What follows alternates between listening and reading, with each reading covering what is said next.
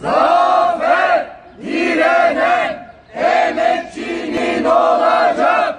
Zafer direnen emekçinin olacak.